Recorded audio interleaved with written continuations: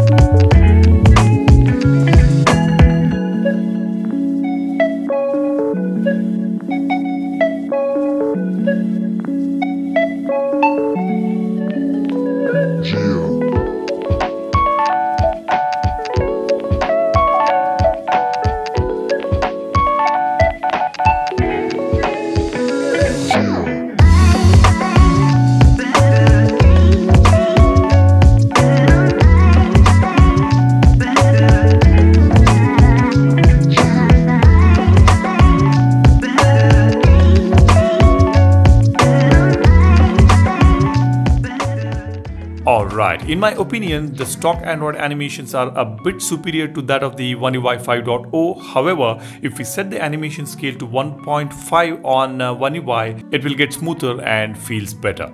But by default, the stock Android animations and transitions are amazing. They look superior in my opinion. But that is just one voice, just an opinion coming from a YouTuber. I want to know what you got to say, which one is better, which one do you prefer? Drop a comment. I will be comparing the animations on One UI 5.0 with the previous iteration of One UI 4.1. So stay tuned for that video and be sure to subscribe to the channel if you want to know your phone better. There are loads of tips and tricks contents on the channel. Go ahead and check it out. Subscribe to the channel and smash the like button if you find this video useful. Thanks for watching. My name is Salian signing off. You guys take care and stay safe. Cheers. Bye bye.